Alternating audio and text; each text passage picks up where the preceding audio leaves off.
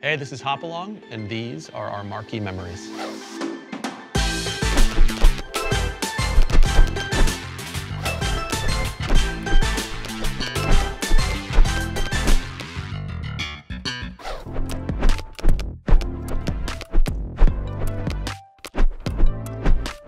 I think all four of us are fans for pretty differing reasons. I saw Pedro the Lion play when I was 17 and I hung around.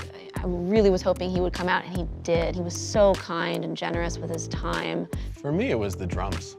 They were huge. It's, the drums were like a Nirvana record.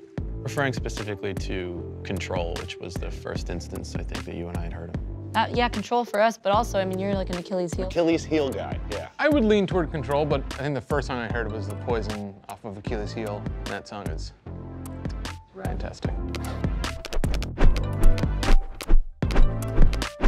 Every time they came through, I would go see Built to Spill. Catchy, lots of guitars. Seeing it live was always a just, I would go home and just play the guitar afterwards. Yeah, I I heard the plan on a 411 skate video, and I remember my mind being blown. Cool guitars, vocals sat right on top, drums were great. They're such an inspiring band. They just let the songs speak, and they do. I wanted to catch their set every single night. My cool, like, indie rock older cousin got me Ancient Melodies of the Future, which I later learned was a kind of outlier in the catalog. And they came to see us play. Joe, we're standing in the bar. Standing in the bar waiting to go back on for the encore.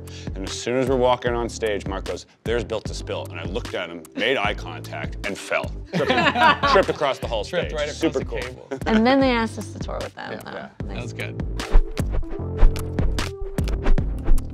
The Trocadero Theater is located in Philadelphia. It was a good place to be an awkward teenager. I just remember driving to the city with a van full of your loud friends, and then you start to see it in the horizon, and you're going to the Troc, and everyone's excited, and Been to so many shows there. so many shows. Artists that still exist, artists that no longer exist. I fantasized about playing at the Troc many times. When we played there, that was a big milestone for me. We played there with mewithoutYou and the Appleseed cast in 2014, and it was right before we signed to Saddle Creek, which happened the night that I sang with Weezer, Seeing you sing with Weezer at the Troc was awesome. and it's shutting down this year. So thank you to the Troc and the staff for being so chill. I mean, the times that we played there, uh, it felt very welcomed and Thanks for the decades of great shows. Yep.